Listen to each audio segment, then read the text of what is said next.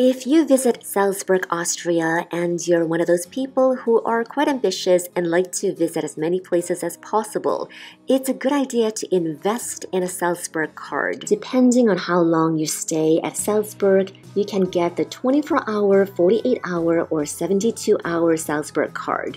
From May to October, the Salzburg card is a bit pricier, 29 euros for adult and 14.50 for kids. For the rest of the month, it's 26 euros for adults and 13 for kids. You can get the Salzburg card at almost any hotels, Salzburg ticket offices, the airport, train station, tourist information centers, and also online at salzburg.info. When you have a Salzburg card, you feel omnipotent because you can basically go to all the attractions and museums in the city for one time free. And free travel on public transport, discount on cultural events and tours. So we'll show you how we used our Salzburg card in 24 hours and how much money we saved. Started bright and early at 9 a.m. We're already enjoying the cable car Untersberg, which costs 25 euros, almost the price of our Salzburg card. We think this cable car Untersberg is totally worth it because the view from the top is absolutely spectacular. Click here for the in-depth video. Next, we headed to the Hellbrunn Palace and Trick Fountains, which costs 12.50 euros. We think this is worth going because the palace is beautiful, there are a lot of very interesting trick fountains, and the guided tour was really fun as well. Click here for the video on Hellbrunn Palace and Trick Fountains. Next, we checked out the Hohensalzburg Fortress. You have to take a funicular to go here. The view was also pretty nice from the fortress and there are several museums to see here. Click here for the video.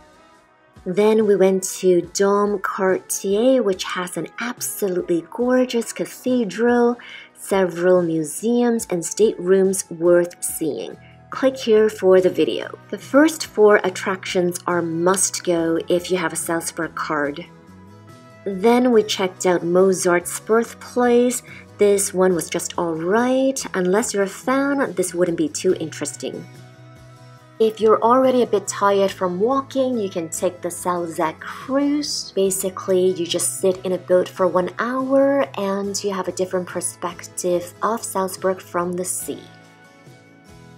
Then we passed the Panorama Museum, might as well go inside since we have the Salzburg card. This was quite boring for us. You should skip this entirely. Last but not least, we went to the Sound of Music World, which was alright because we are fans of the movie, but I would say this would be just moderately interesting. There are at least 25 different places you can go to, but these are the ones that we chose. The closing time for most places is around 6 p.m. In summary, all the places we went to cost 101.9 euros, the Salzburg card was 29 euros, so we saved 72.9 euros per person. Plus, we took a few buses here and there, so we actually saved more than that. Despite the fact that it was a little bit hectic, at the end of the day, we felt really satisfied because not only did we see a lot of beautiful places, we also saved a lot of money.